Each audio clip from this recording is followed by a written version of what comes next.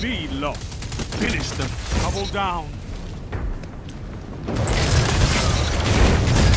Two for one. Zone C captured. Zone advantage is yours.